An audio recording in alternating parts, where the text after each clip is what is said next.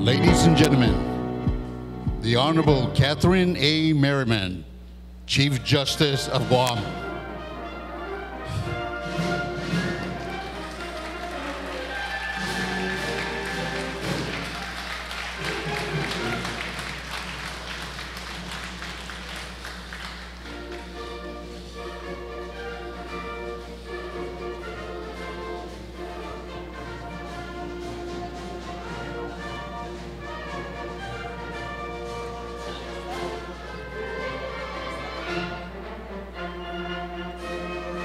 Please welcome the Honorable Joshua F. Tenorio, Segundo Magalayan Guahan.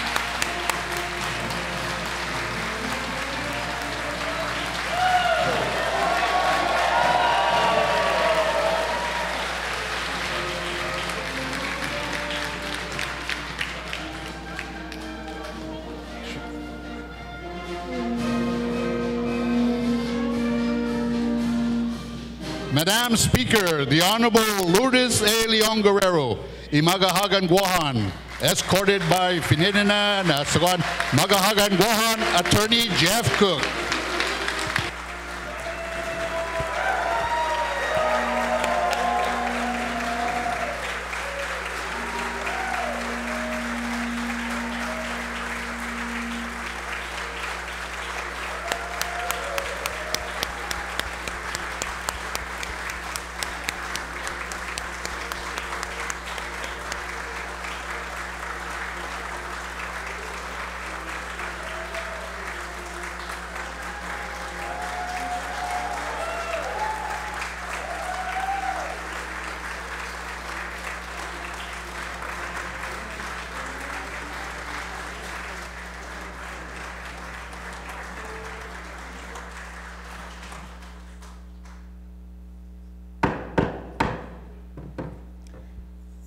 Of the Whole of Emina Trenta Cinco nas las Tuan Guahan is called to order.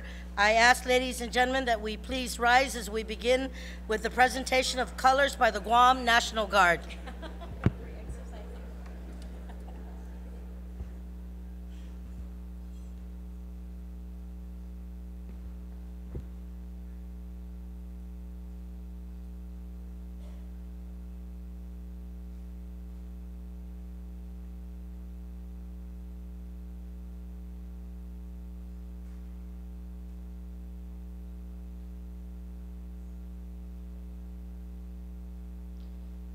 I call upon Anna Lourdes Cook to sing the national anthem and Mrs. Jamie Cook to sing the Guam hymn. Oh, say, can you see by the dawn's early light what so proudly we held at the last gleaming, whose broad stripes and bright stars through the perilous fight o'er the ramparts we watched were so gallantly streaming,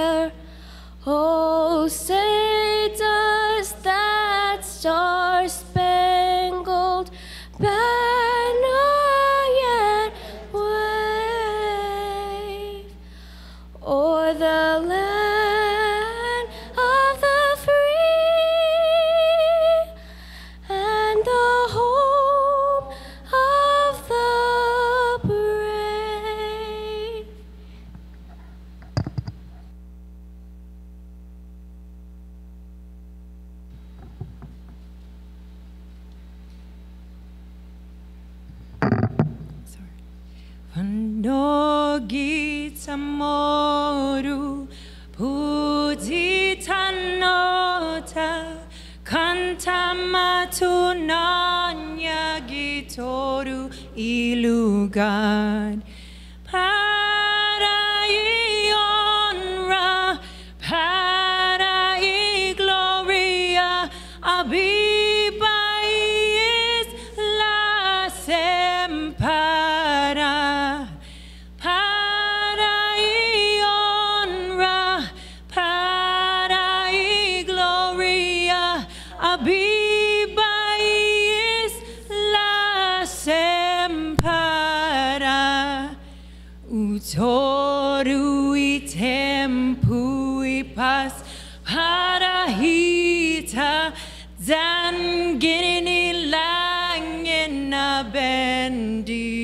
bendition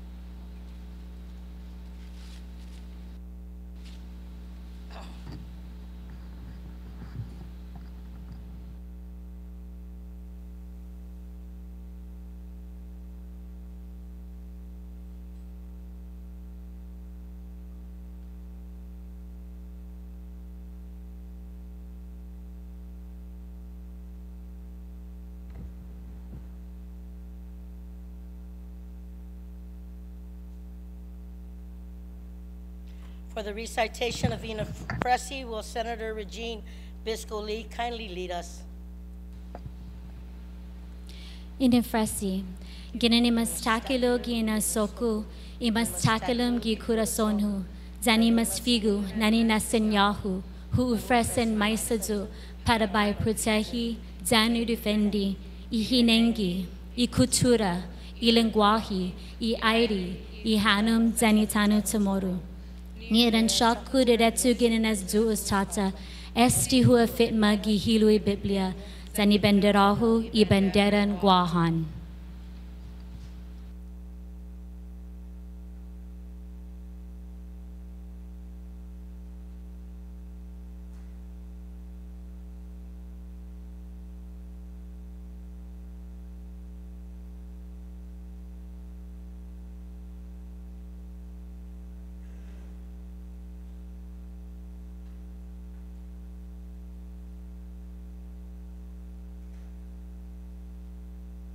Agang hulu pagu i, i oral history project para i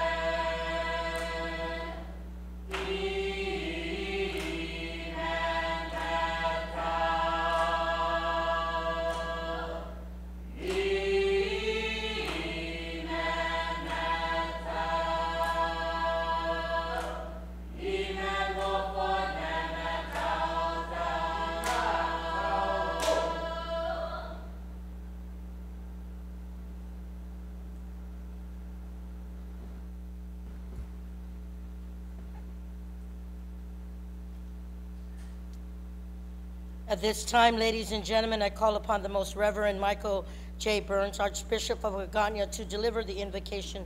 Please remain standing.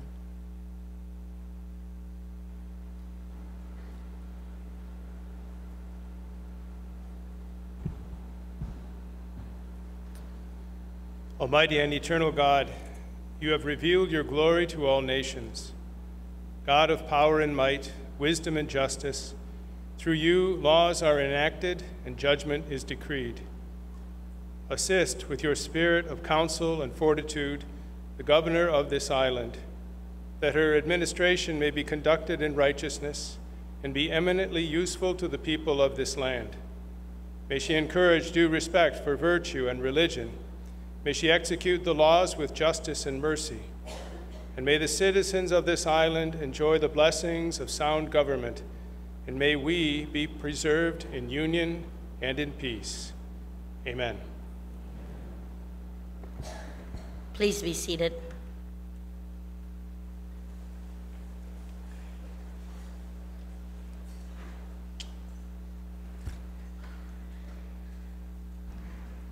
Ladies and gentlemen, I call upon the Honorable Lourdes A. Leon Guerrero, Imagahagan Guahan, to present the state of uh, the island address.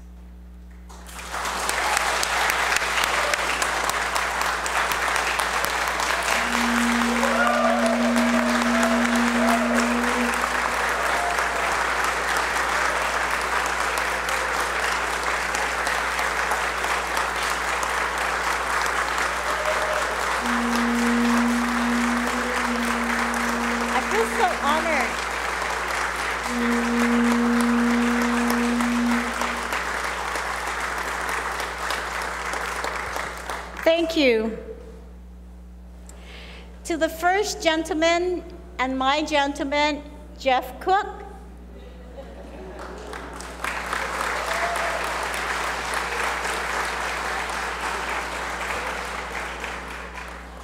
Lieutenant Governor Josh Tenorio, Madam Speaker Tina Muña Barnes, and members of the 35th Guam Legislature, Madam Chief Justice, Attorney General Leevin Camacho, our Public Auditor Benjamin Cruz, honored guests, the Adjutant General Esther uh, Admiral Shoshana Chatfield, members of the Diplomatic Corps, and my dear people of Guam, half a day and good evening.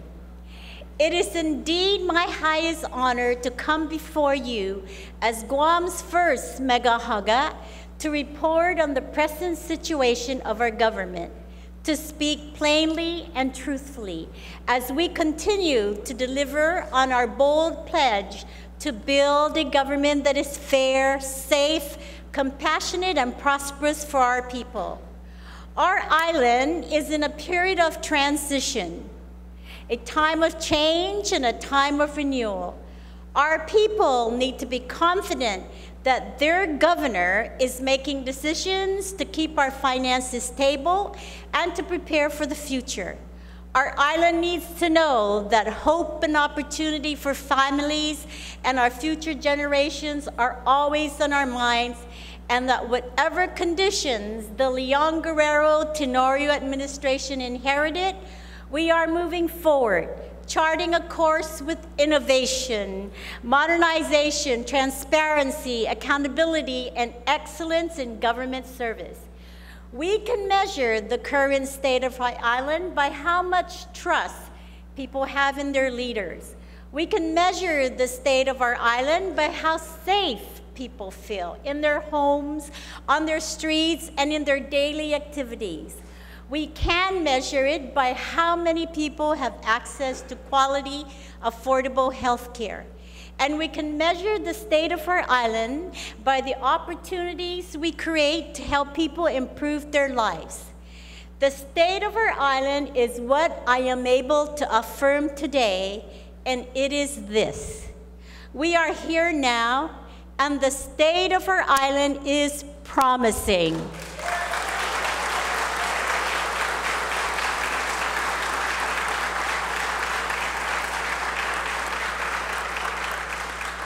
Lieutenant Governor Josh and I acknowledge that the first step to effective governance begins with placing the right people into the right positions and ensuring leadership that you can trust. Our cabinet members and senior staff are some of the most talented and diverse individuals committed to serving our government agencies, beginning with our Chief of Staff, Tony Babauta, our Deputy Chief of Staff, John Jr. Calvo, our cabinet members and senior staff, please stand and be recognized.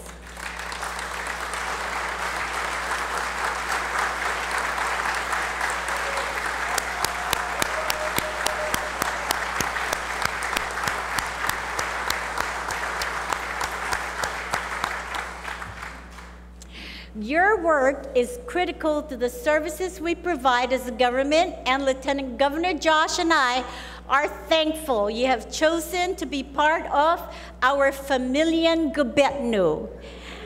Also, I have restored a fair increment process in order to recognize the often thankless but excellent jobs that many of our government employees perform for our people on a daily basis. Since taking office nearly 100 days ago, we assemble an effective and highly experienced fiscal discipline team to reignite fiscal responsibility and fairness with regard to the manner in which our government collects taxes. The team is led by our Chief Advisor on Fiscal Di- Discipline, Bertha Duenas, and includes the Department of Revenue and Taxation Director Dafne Shimizu, Bureau of Budget Management and Research Director Lester Carlson, Department of Administration Director Ed Birn, and Guam Economic Development Authority Director Melanie Mendiola. We began a full assessment of public assets, liabilities, revenues, and operational expenses, and focused on collecting current taxes owed to Gov Guam.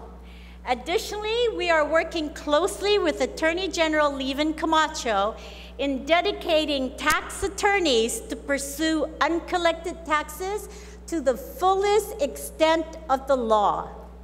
We are also committed to allocating the resources and technology needed at Revenue and Tax to support this effort. I have said time and again that when everyone plays by the same set of rules and is held to the same set of standards, fairness is achieved.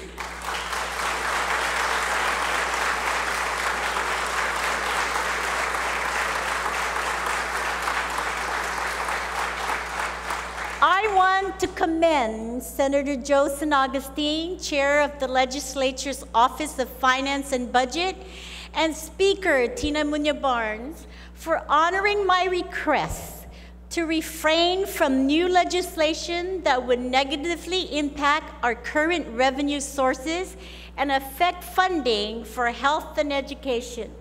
I am grateful to all the 15 senators of the 35th Guam legislature for honoring this request.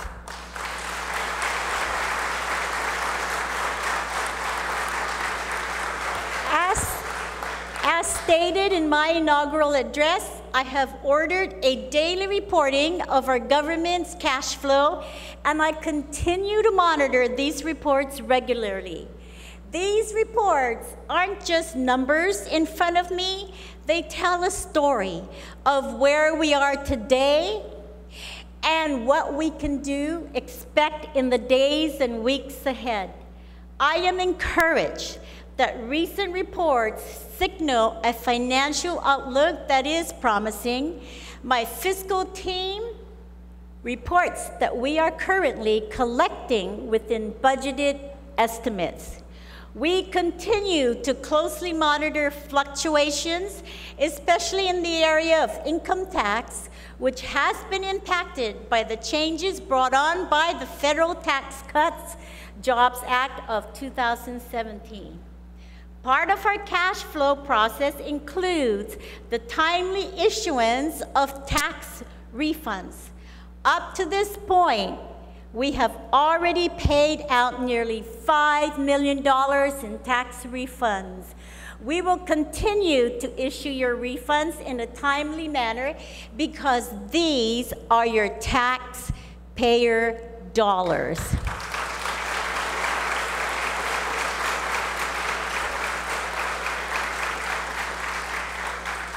I also met with our bondholders from Standard & Poor's and Moody's and laid out our vision for the government's financial well-being.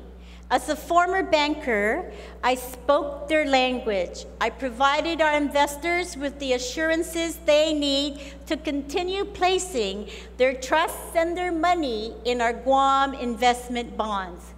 I believe they have confidence in our commitment to fiscal discipline, and I anticipate having a strong collaborative relationship with them over the coming years. Because of our sound fiscal policies, Guam will continue to have a strong credit reputation in the capital market. Fiscal discipline will be the hallmark of our administration. In all that we do, we will always strive to be worthy stewards of the public trust people expect of their leaders. Toward this effort, in our fiscal year 2020 budget proposal, we are committed to setting aside 2% of the general fund revenues, placing us on a responsible path toward eliminating our deficit and addressing the long-standing problems that have led to our cash flow challenges. This change will allow us to set aside cash reserves through deposits into the long dormant rainy day fund building up to a reserve of 10% of our general fund average spending over a three-year period. It will provide, for the first time, the building of a cash reserve for unplanned and unforeseen events. This reserve will also improve our government's credit and bond ratings for future financing of capital and infrastructure improvements. In order to fully address Guam's financial situation, we must be strong in addressing the unfunded federal mandates that create a huge hole in our pockets, including the Compacts of Free Association Act, the Earned Income Tax Credit, and Medicaid benefits. The people of the Micronesian Islands have always been united through and not separated by the Pacific Ocean. So we welcome our fellow brothers and sisters from our blue continent to our home. Yet, the Compacts of Free Association Act has led to an increased demand on our local services and infrastructure and Congress has refused to cover the cost of this burden on our government. We have identified a total of $1.4 billion locally funded compact impact costs incurred from fiscal years 2004 through 2018. Our claims for the total annual amounts have been partially rejected because the federal government tells us our calculations do not meet the standards set by the U.S. General Accountability Office.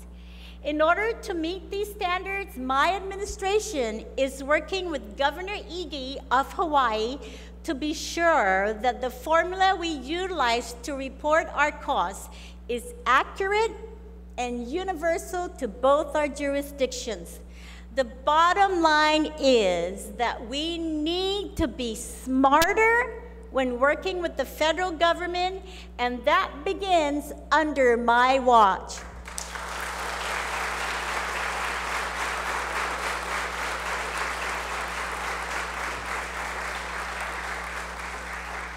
Earned income tax credit is the second largest unfunded federal mandates that we face, second only to compact impact. While the 50 individual states are reimbursed by the federal government for their EITC payments, GovGuam is forced to pay out these tax reimbursements locally from our general fund. In the last 16 years, our EITC payments have increased from 11% of the total tax refunds paid to 43% of all tax reimbursements. I spoke with the Trump administration officials about this unfunded mandate while I was in Washington, D.C. And I continue to make our case with them on this issue. I also look forward to working with our Congress, congressional delegate, Mike Nicholas, to resolve this inequity. Another unequal federally funded mandate for Guam is Medicaid. In the states, Medicaid has an open-ended financing structure. In Guam and the other U.S. territories, Medicaid is essentially a block grant with an annual ceiling. We stand to lose $61 million of these Medicaid funds that expire in September of this year. I am working closely with House Speaker Nancy Pelosi and Acting Secretary of the Interior David Bernhardt to not only extend this deadline, but also to have Guam be treated equitably with regard to its calculation. As I have said before, we need to be stronger and louder in our arguments to Congress for fair and equitable treatment with regard to these unfunded federal mandates.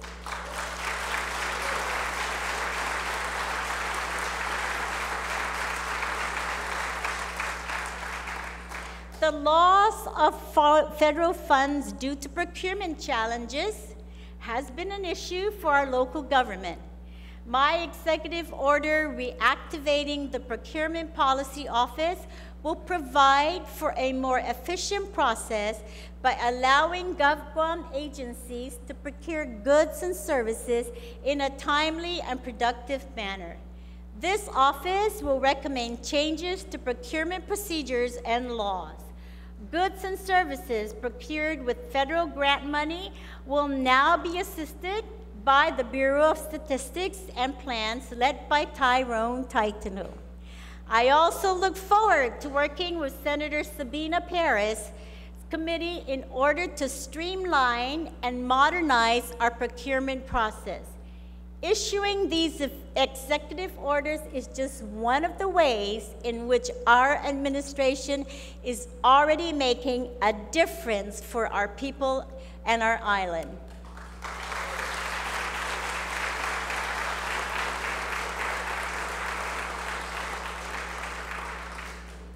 Also, Lieutenant Governor Josh created a governor's task force to reform our cumbersome government permitting procedures. The Bureau of Statistics and Plans is leading the charge and will be working with other government agencies to streamline government permitting process that everyone from developers to homeowners tell us is too cumbersome. As we create a more efficient government, stabilize our finances, and begin to experience savings, we then are able to dedicate these additional resources to our priorities. First among them is public safety. I recall just the day after the general election, a woman came up to me and said, You know, Lou, for the first time in a long time, I feel safe and I can sleep better at night. That encounter not only reminded me of the magnitude of this office, it said something bigger. It said that we have an awesome responsibility to ensure that our people can feel safe in their homes. They can find comfort knowing their children will be safe walking home from school. They feel safe getting into their cars after going out at the grocery store. And like that woman, our people can sleep better at night. In order to make our people feel safe, we must put more police officers in our streets and in our neighborhoods. The Guam Police Department, led by Chief Stephen Ignacio, is recruiting 30 additional police officer trainees for the next training cycle, and we anticipate their hires at the end of the month. During this same time, five police trainees will graduate, and as new officers, they will be assigned to neighborhood patrol, adding to the already increased police presence on our village streets. And our fiscal year 2020 budget proposal provides an additional $3 million to hire more police officers.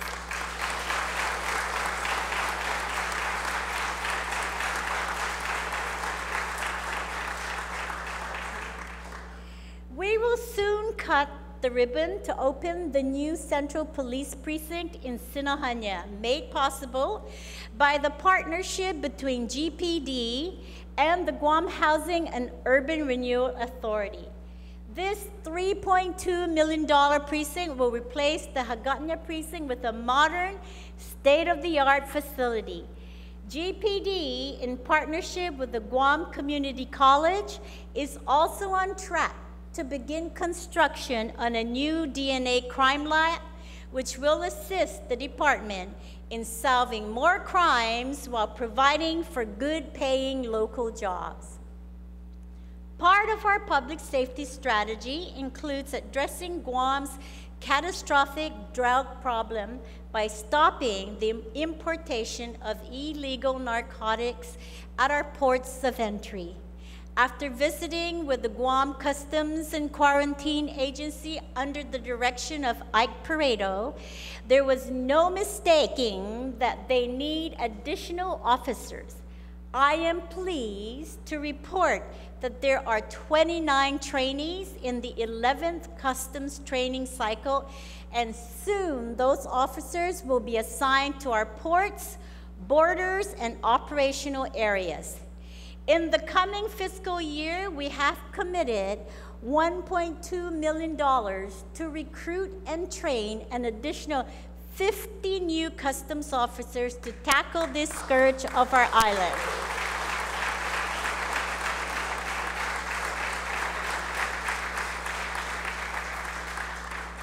Our Guam Fire Department, led by Chief Dan Stone and his team, stands ready to respond to local and national emergency. GFD now has 45 newly commissioned firefighters and continue to leverage federal funding opportunities to maintain operational readiness. Shortly, we'll also see the rollout of a long-awaited paramedic program that will upgrade the medical response aspect of our emergency responders. In February, Typhoon Wutip tested our government's response capabilities, and I am very proud to say that our agencies led by Acting Governor Josh Tenorio came through with flying colors.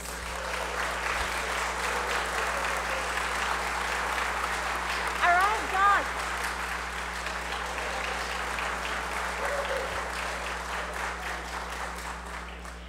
Guam Police Department officers were out in COR 1 making sure everyone and everything stayed safe, and our Department of Public Works, led by Jesse Garcia, helped to eliminate much of the flooding that usually occurs in low-lying areas of the island. Another contributing... Where's Jesse? Another contributing factor to the successful handling of the typhoon was that all heads of agencies involved had attended the Office of Homeland Security's training on Guam's emergency preparedness system under the leadership of Tim Uggan. At the Department, at the Department of Corrections, Director Samantha Brennan is working to hire 30 additional officers budgeted for in fiscal year 2019. This will greatly cut down DOC's overtime expenses and provide for a safer prison environment. DOC also budgeted for a prisoner's commissary to cut down instances of smuggling contraband into the prison and has implemented a residential substance abuse treatment program.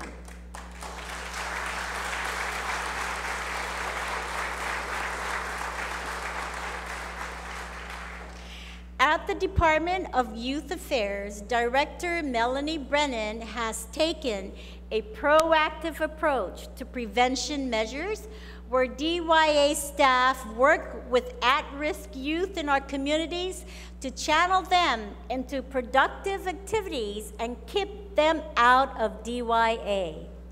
As I mentioned, public safety is a top priority of our administration, and I want to acknowledge Senator Peter Terlaje, who chairs the legislature's efforts on public safety. Your support and unwavering commitment to our law enforcement personnel and public agencies is welcome, but more importantly, very promising.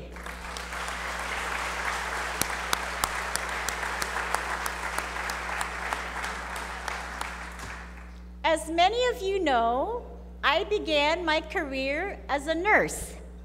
And it's no surprise that providing quality health care to our people is personal to me and quite frankly to our administration. Some of you might know this, but I've actually maintained my certification as a registered nurse. Access to health care is a fundamental right of every individual. The Department of Public Health and Social Services is the gatekeeper of the health needs of our island. Under the leadership of Linda DeNorcey, our administration is providing the necessary resources to ensure that our people have access to a quality public health system from preventive measures like immunizations to access to regional health centers and long-term care. I also welcome the leadership of Senator Therese Terlaje, who chairs the Committee on Health on these efforts. With regard to the use of marijuana for medical purposes, Public Health has established the Medical Cannabis Regulation Commission and appointed eight of its 11 members. Once full, the commission is tasked with ensuring the best and safest way to enable patients to use medical cannabis to provide relief from very debilitating medical conditions. My decision to sign Senator Clynt Ridgell's bill to legalize the use of cannabis was based on the best interests of our island. I want to thank the eight senators who courageously voted to pass this legislation. I believe that we have to control cannabis use here rather than having it control us. My administration is dedicated to fulfilling all the requirements needed to regulate the cannabis industry and to ensuring that laws surrounding the safe adult consumption of cannabis remains current and relevant for our island.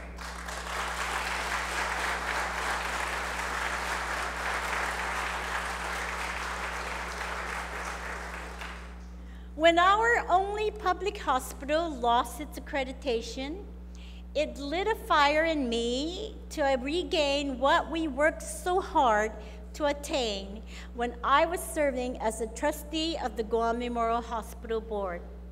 I want to reassure all of you that there are hardworking medical personnel and employees who show up day in and day out at GMH, now under the direction of Lillian Posadas, because they understand that their mission is a matter of life or death for many of our loved ones. In fact, these everyday heroes, like Dr. Jolene Uggan, just saved the life of Vince Arriola, our Director of Public Works.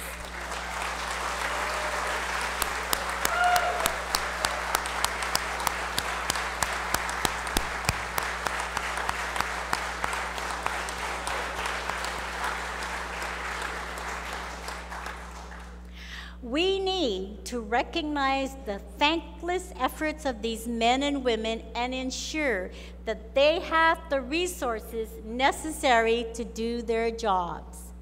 In the early days of our administration, the Centers for Medicare and Medicaid Services granted the hospital's request for a rebase adjustment. What this means is that Medicare reimbursements to GMH will almost double, infusing over 6 million more dollars annually into GMH. This will allow our hospital to receive close to what it should receive for the cost of its services. This really is historic for our island because it is something we have been working for decades to get adjusted. As we look at the broader healthcare spectrum, the Guam Behavioral Health and Wellness Center has made significant progress under the leadership of Therese Arriola. We continue to see that trend with the reopening of an intensive inpatient detoxification unit for the island as well as the strengthening of evidence-based drug and alcohol treatment programs that service hundreds of clients each year. Additionally, I look forward to seeing the full implementation of the center's fee schedules as a way of generating additional revenue to further support its operational needs. As a community, we are measured in part by our successful economy and our prosperity, and also by how we help those with special challenges.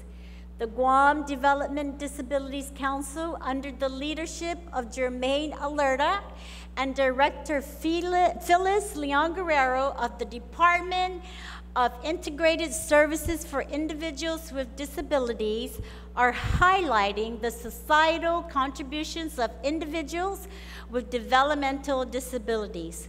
One is Nick Claras, a 22 year old young man hired recently at the Guam Police Department as a clerk.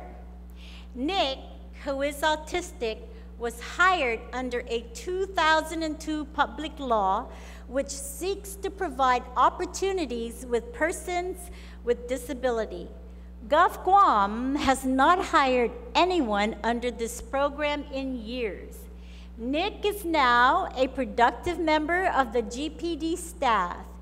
Evelyn, Nick's mom, is here with us tonight.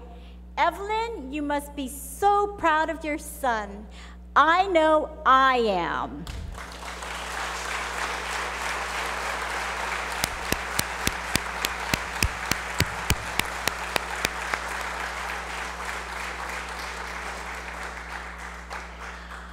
We are working to provide employment opportunities to more residents and diversify our economy, tourism remains vital to our continued economic prosperity.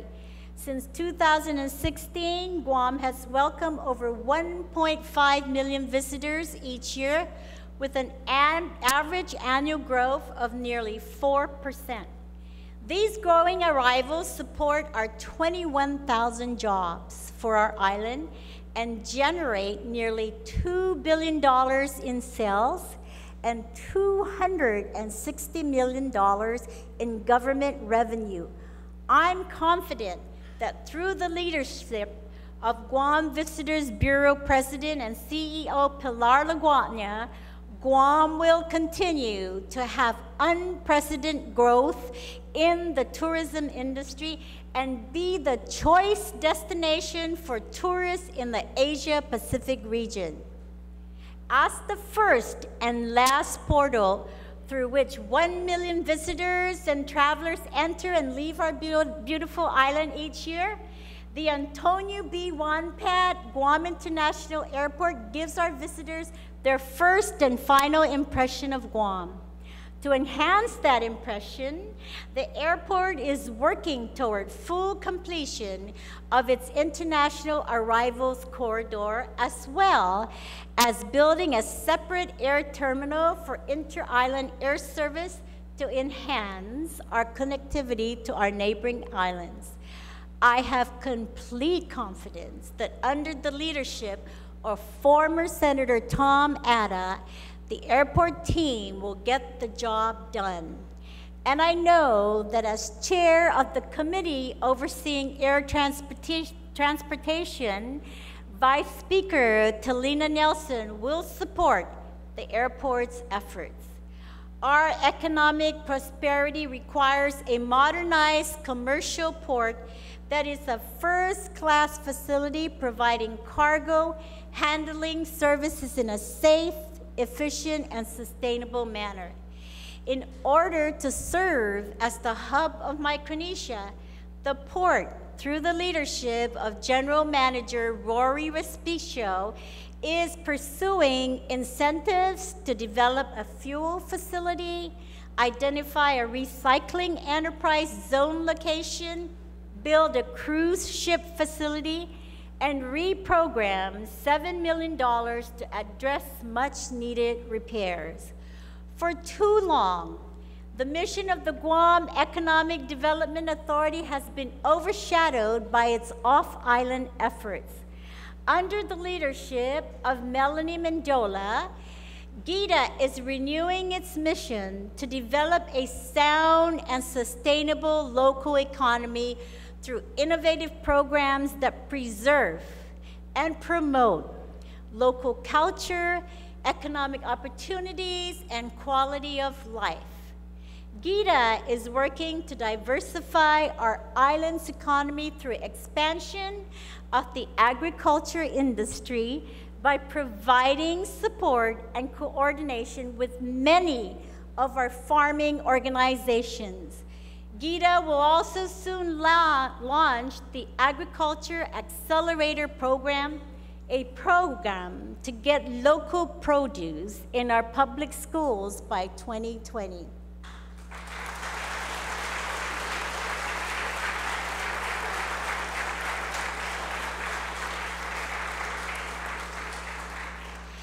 GEDA's qualifying certificate program has provided economic incentives to investors to build Guam's economy over the years.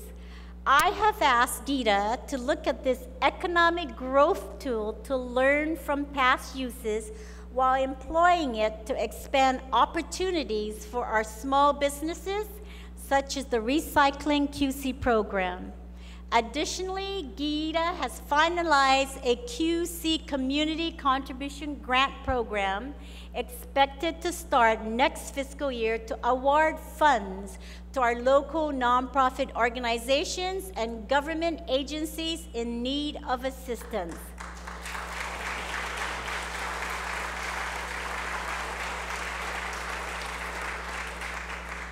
Another of the ideas Lieutenant Governor Josh and I have explored to boost our economy is to bring new revenue to our island in the form of fresh, sustainable investments. GEDA and my chief advisor on economic development, national and international affairs, former Governor Carl Gutierrez, have carved out focus areas ranging from small businesses incubation to technological advancement. The economic redevelopment of our capital is part of that effort. Malaguzu pagu beu sengani hamzu donkuluna ekodismenti para estina onra itu motagihu pagu para tafan ali para tafan akwentusi put hafasya bidan mamian sijaf gini gimapus na siantu dias. Bula bidan mami lomas bula pematsokwi pues su fafaisen todo y senador y senadoras para tafandanya Patafanhano mona todo, patana lamolik esti i islata. Este na lugar, bula memorias, bula historia, bula mas laiman matsogwi, para uman na lafa malik ini na lata mona. Pes maila zata fandanya, zata fanhano mona, zata na esti i nila lata gini islata. This great hall fulfills the portion of the master plan of the Hagatna Restoration and Redevelopment Authority, headed by Lasia Casil and overseen by legislative chair of the Hagatna Revitalization, Senator Kelly Marsh Taitano. Revitalizing our culture and our Chamorro language are also tied to our economic sustainability, and for that, I am counting on the lead efforts of Anne Maria Arceo, Executive Director of the Comisión Ifino Chamorro. Because properties belonging to the government of Guam are properties that belong to the people of Guam, GEDA is also collaborating with Jack Hattig from the Chamorro Land Trust, Joe Angoko from the Guam Ancestral Lands Commission, Joe Borja from the Department of Land Management, and other agencies to improve the efficiency of the government leasing process. Our mayors know our villages and our village residents. The mayors are working with GEDA to identify opportunity zone projects that may benefit the villages through jobs and increase economic activity. And we thank them for this very important effort.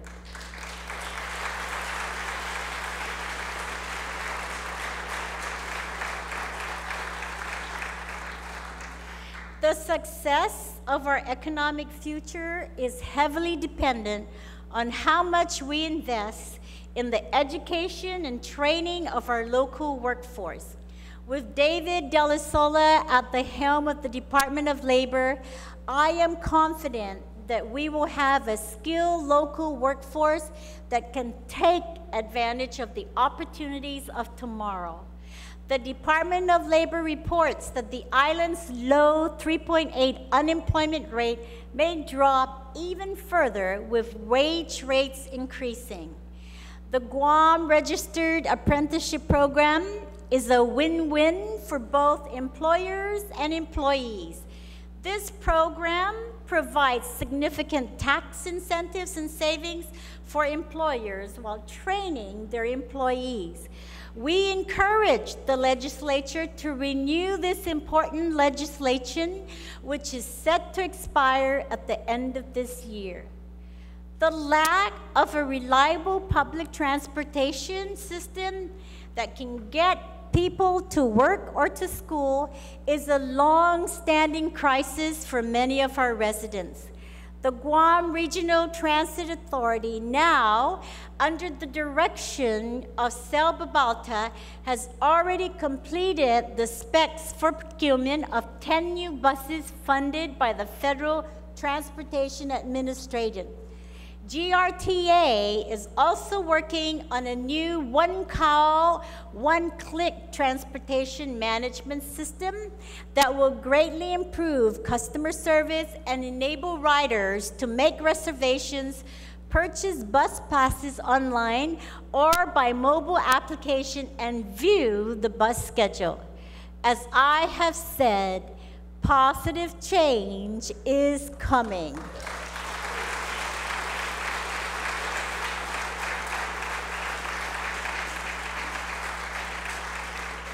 While our administration prioritizes building a vibrant and local workforce, a supplemental foreign skilled labor workforce continues to be instrumental to our economic growth. I am pleased that several contractors have been recently approved to bring in over 300 H-2B visa workers from the Philippines as I told the White House members of Congress, the Department of Homeland Security, and the U.S. Citizenship and Immigration Services during my trip to D.C., every project on Guam is tied to the military buildup. We are one community and we need to stand strong in forcing the federal government to recognize this fact.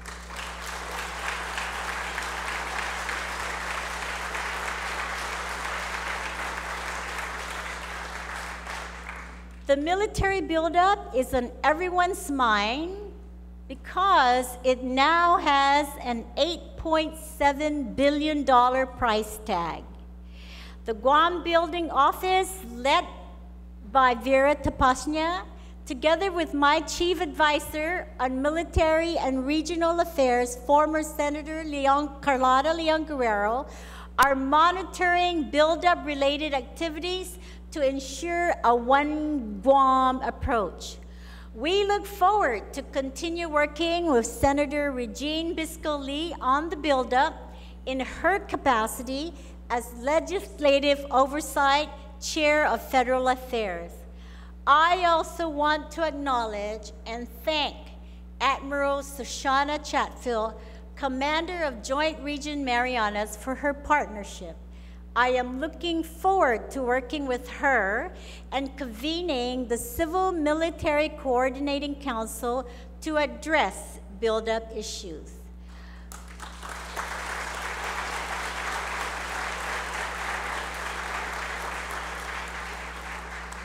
With the military buildup and the economic influx it will bring, our administration is determined to see that it be done responsibly and at a pace that will benefit and respect our local people, culture, and environment.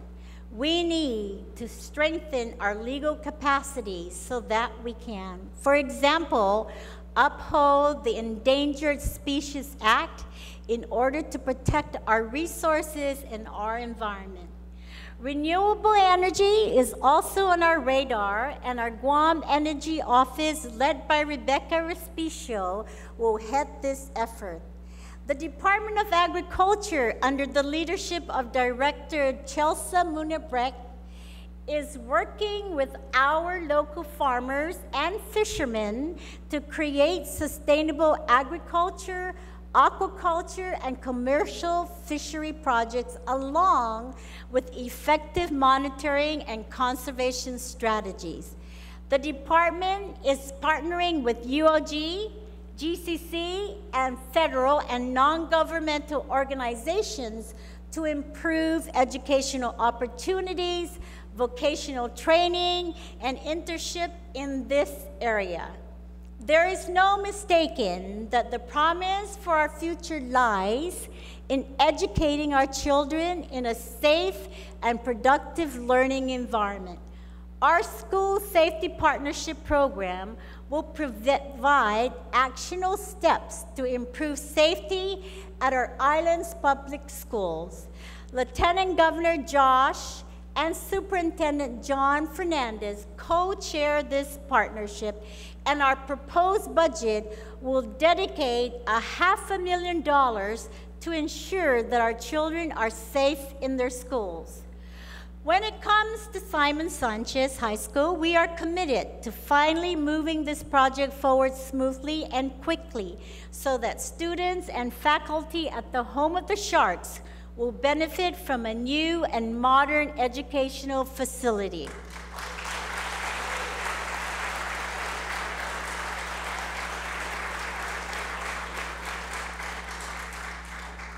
I am excited to know that the Guam Community College, under the leadership of Dr. Mary Okada, will be offering a two-year Associate of Science degree in nursing beginning this fall.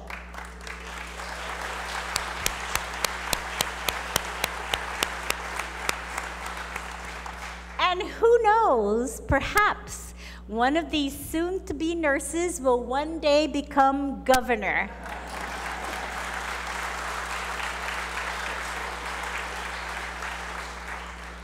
The University of Guam, with Dr. Thomas Krise at its helm, will start construction on its new School of Engineering this year. This facility will include laboratories for hydraulics, soil and structure, and environmental engineering. Finally, we will be able to have homegrown engineers, a much needed profession to move our economy forward.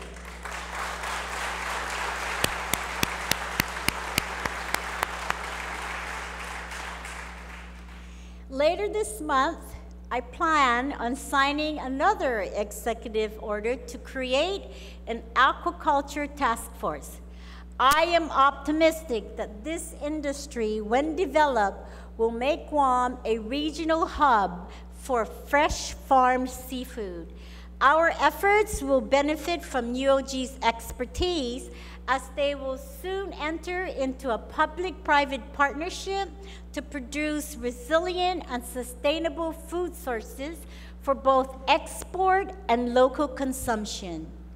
We are excited the collaborative efforts that all three of our island's public education institutions have developed with each other and with our partner colleges throughout the region.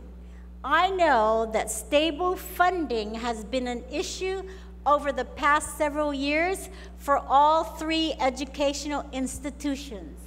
Our administration will ensure that allotments for education are never held back, that stops now because our children and teachers deserve no less.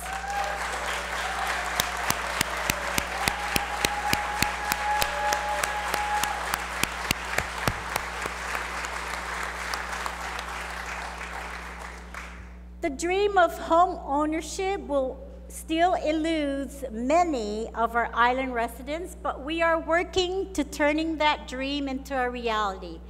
Ray Topasna, GURA's executive director, has cut the ribbon for 130 low to moderate homes in Dededo since taking over the agency. Today, Guam now has 1,500 such units built with federal tax credits, and just last week, the Housing Authority approved the award of a contract to design a residential treatment center for women in Tiyan.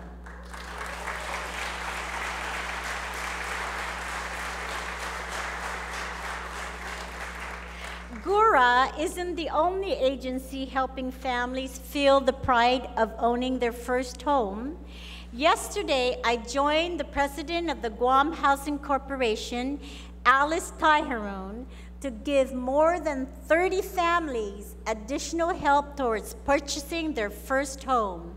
This was made possible thanks to the Guam Housing Corporation's First Time Homeowners Assistance Program, which pays up to $10,000 of the total cost of a home.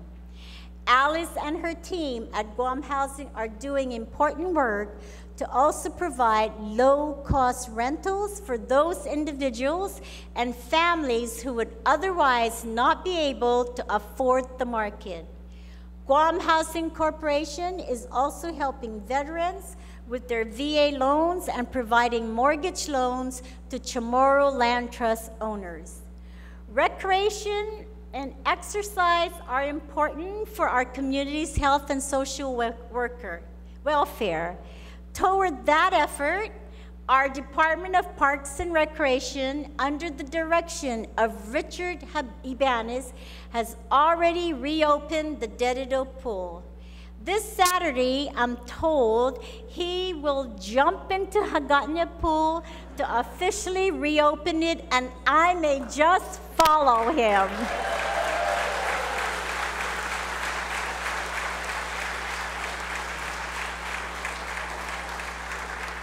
There is so much promise for the state of our island, but the complete realization of what the future holds for us cannot be achieved without first determining our own destiny.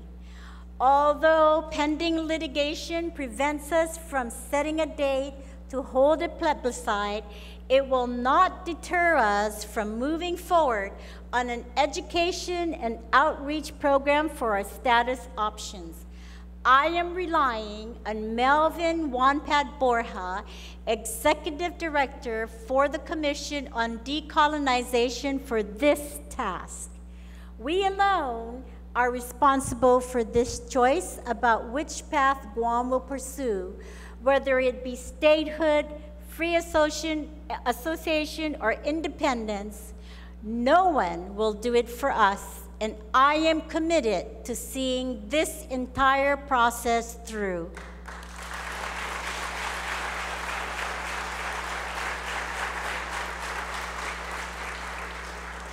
Shortly after I took my oath as Maga'haga and Commander-in-Chief of the Guam National Guard, 71 soldiers were mobilized in support of the THAAD, which has deployed to Guam to secure and protect critical assets from bad actors in the region. Over 80 Guam Air National Guard personnel are currently deployed all over the world, and next month, over 200 of our Guam Army National Guard soldiers will deploy to Egypt on a peacekeeping mission. I want to commend the leadership of our Adjutant General, Colonel Esther Aguigui, who I am proud to recognize as the first woman appointed to this top leadership position.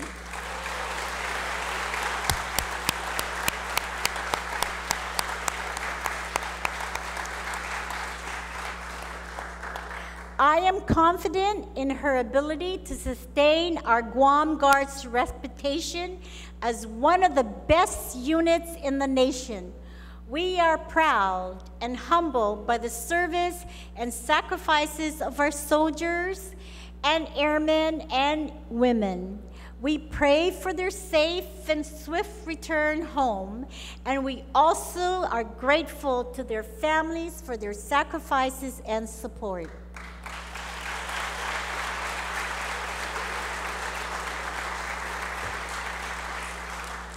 To the members of our military services who are no longer serving our veterans, your patriotism and love of our island and country remains unquestioned.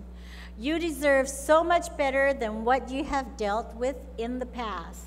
The Guam Veterans Affairs Office, led by your fellow veteran, Fred Bordallo, is working in coordination with GURA to identify land and federal requirements in order to build a brand new Veterans Center for Guam.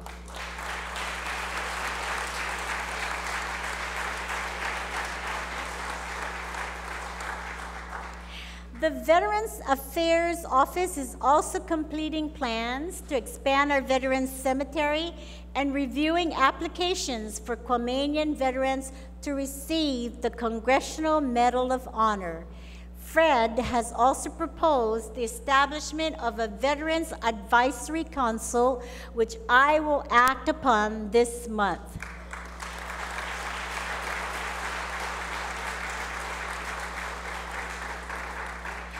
This year marks the 75th anniversary of the liberation of Guam.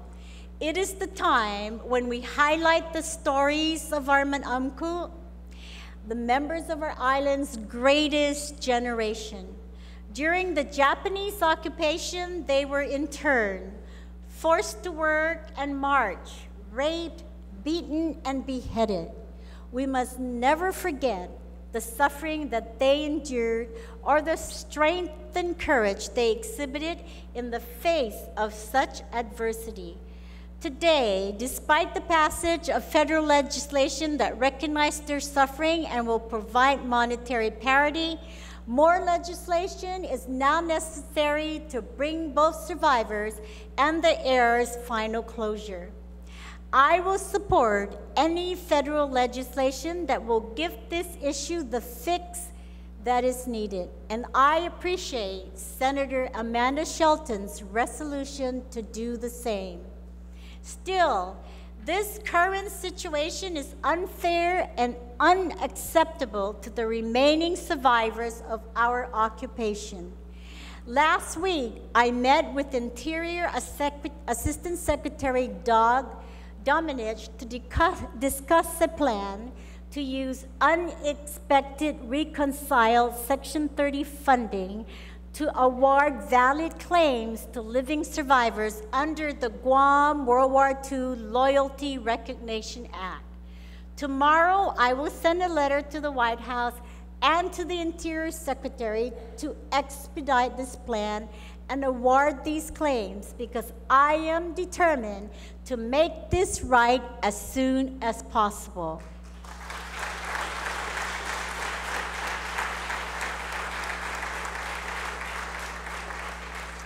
I'm encouraged by my meeting with Assistant Secretary Domenech, but I know this will still take a great deal of effort. This isn't about the monetary value. No amount of money can heal the wounds from war.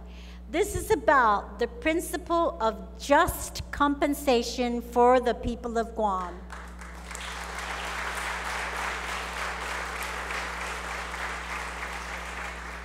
As we prepare to honor our survivors with this year's liberation theme of peace and friendship, let us draw on the strength and resilience they exhibited during the war by being strong in our commitment to build a legacy that honors their sacrifices. I want to thank you for being here tonight.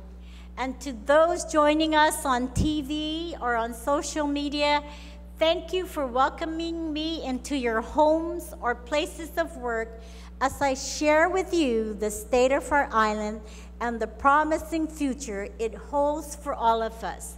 Each of you represents the promises of a government and an island that can be more productive and more sustainable when we move forward together. All of us must use every fiber of our being to help each other become stronger and better. We must use our resources to help us reach our goals and to lift each other up at every instance. We must listen to our inner voices and trust our instincts in every decisions we make, even the most difficult ones. And most importantly, we must do all that we can possibly do using not only our physical strength, but also the strength of our hearts, our minds, and our spirits to improve our quality of life as one island.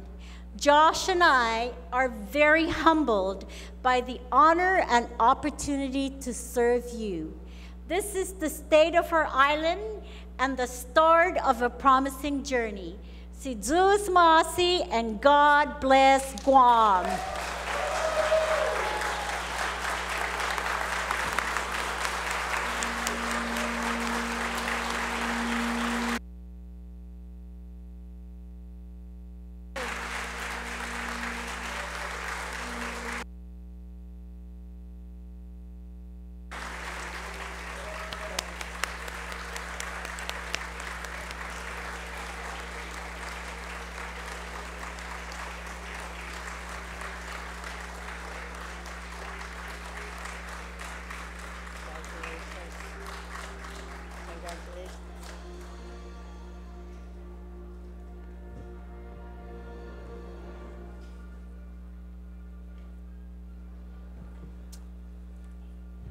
At this time, ladies and gentlemen, I call upon Pastor William Schmidt, Vice President of Guam Ministries, to deliver the benediction. Please remain standing. Yes, both of them. Had to get instruction here. Let us bow our heads in prayer. Lord Jesus, when you taught us to pray, you said to pray this way Our Father who art in heaven, hallowed be thy name. We recognize that you are holy and worthy of all praise and worship. We are looking to you tonight for your continued guidance and divine wisdom. Of all the things that your servant Solomon could have asked for, he chose to ask you for wisdom for his people. You promised to grant us wisdom if we ask in faith, believing you to release to us the wisdom from above.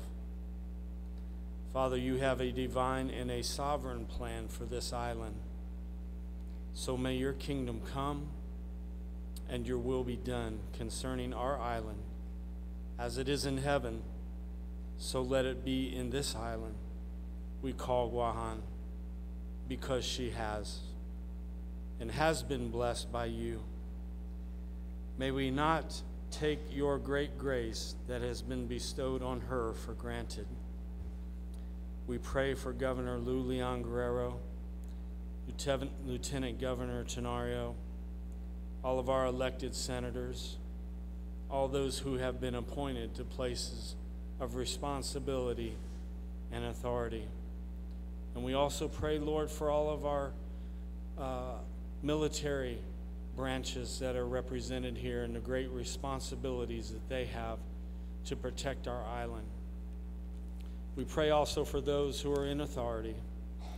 We understand that all authority originates with you from above. We pray as we close tonight that you grant and instill in every elected official and appointed public servant a heart of a servant, ready to serve you in your sovereign purpose and will for our small landmass, but oh so significant in your kingdom's plan, our Guam. We lift this up to you in Jesus' name. Amen. Ladies and gentlemen, please be seated.